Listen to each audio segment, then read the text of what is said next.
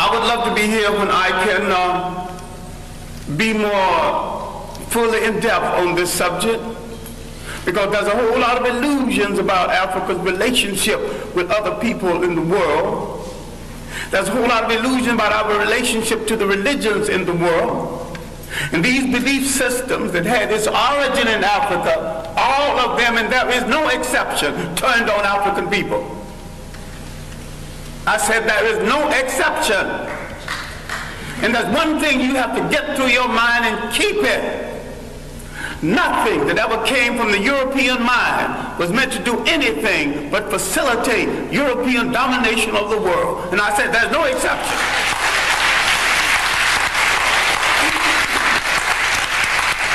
Everything that was brought into this continent, everything, every idea, every so-called religion was meant to dominate and to control.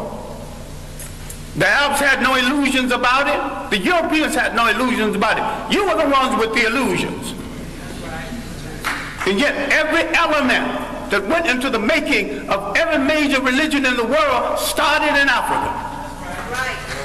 Why is it that you are so naive? You let people redress something that you invented, sell it back to you, and enslave you through it.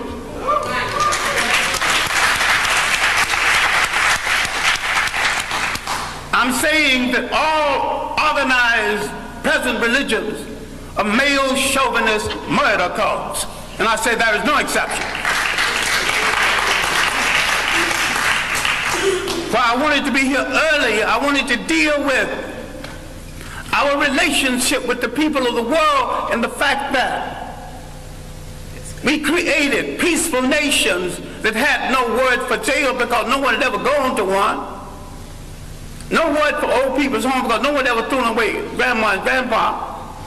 No word for orphanages. We did all of this, and over half of human civilization was over before we knew that a European was in the world. Before he wore a shoe or lived in a house that had a window. Now, Africa has always and still is the prize for the whole world. We as a people have always been the world's richest people, culturally rich, mineral rich. We have always been the prize because we have always had and still have something that other people won't, think they can't do without, and don't care to pay for. Because we have always been the prize, we have been under siege for over 3,000 years. Nothing that ever brought into Africa from the outside was meant to do the Africans any good. That means all other religions. Islam was the handmaiden of Arab imperialism. Christianity was the handmaiden of European imperialism. The Hebrew faith was the handmaiden of a concept called the chosen people. Now, if God is kind and God is merciful and God has no stepchildren, he won't choose one over the other. And to say he chose some people, you're making him a bigot.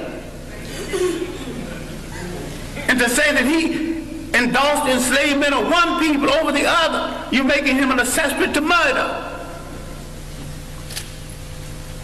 The Arabs used Islam to rationalize their slavery and their imperialism. The Europeans used Christianity to rationalize their slavery and imperialism. Who are you kidding about friends in the world? Damn it, if you want a friend, look in the mirror.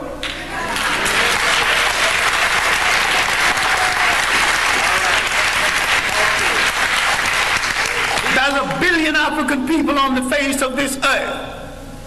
Why are you buying third-rate junk from third-rate people thinking you can't make it? Why don't you at least make a safety pin to hold your child's diaper together? Teach. Who has programmed your mind into thinking you can't make a car? The first man that made a car that had never seen one previously.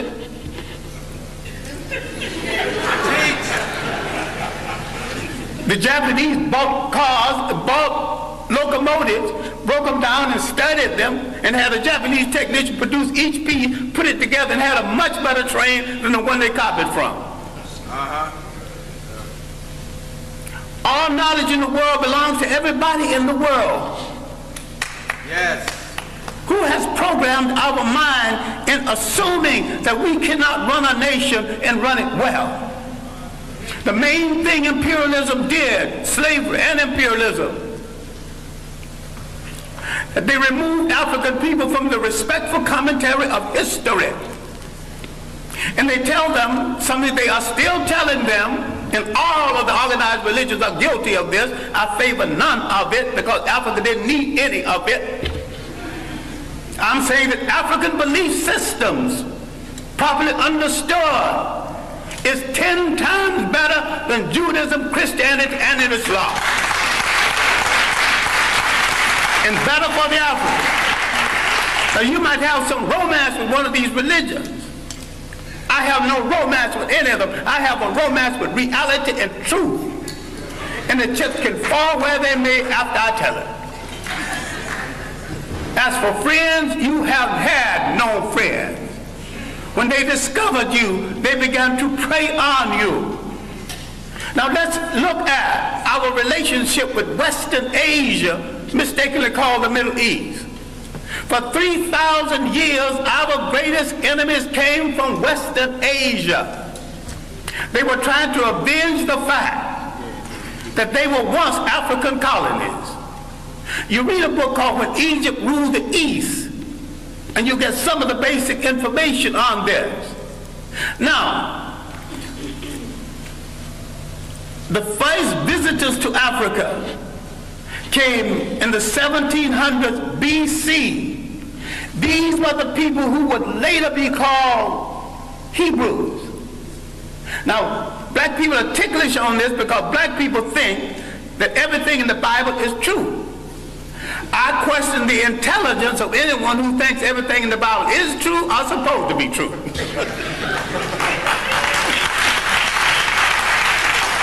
it's allegory told, stories told to illustrate a point at a time when there were very few people reading books. And most of what went into the making of the Bible was copied from Egyptian texts. Now, if you want to get so dewy-eyed over the Bible, which is, which is a carbon copy of a carbon copy, why don't you go back and read the original Egyptian text?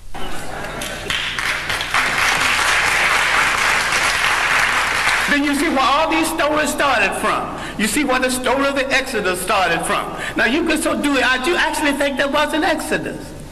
These people walked into Africa. Why couldn't they walk out? Why did they have to go by sea? Why did see at the park? If you read Egyptian literature, you will discover that the whole story of somebody parting the sea started with about 3,000 years before the Hebrew entrance. I should not use the word Hebrew entrance, but the entrance from Western Asia. Now let's get one thing straight because black people are confused about all religions.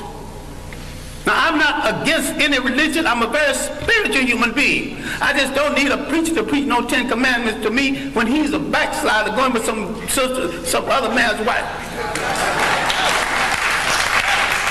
I'm intelligent enough to pick from the Tenth Commandment, not commandments anyway, but there were omissions of purity at the great school at Luxor, Luxor, the great African training school.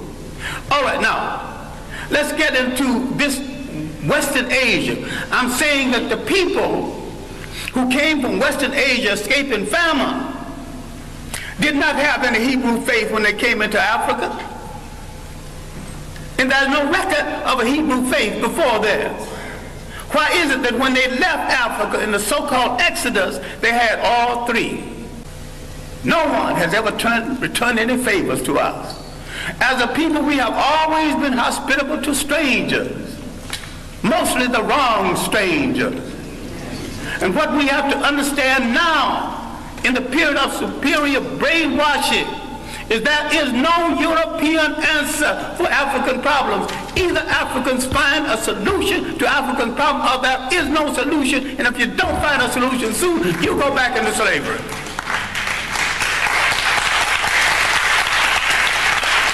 We have to stop all of this nonsense about who belongs to what religion when all of them were imposed on us in the first place.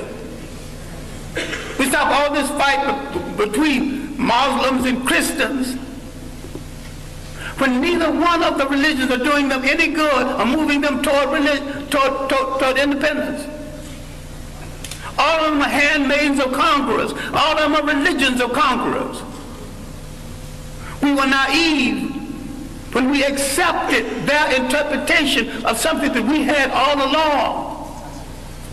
I'm saying we need to take a good look at ourselves. I'm not talking about burning churches. I'm not talking about getting rid of religions. Understand me well. I am saying that every single thing that touches your life, religious, socially, and politically, must be an instrument of your liberation or you must throw it into the ash can of history.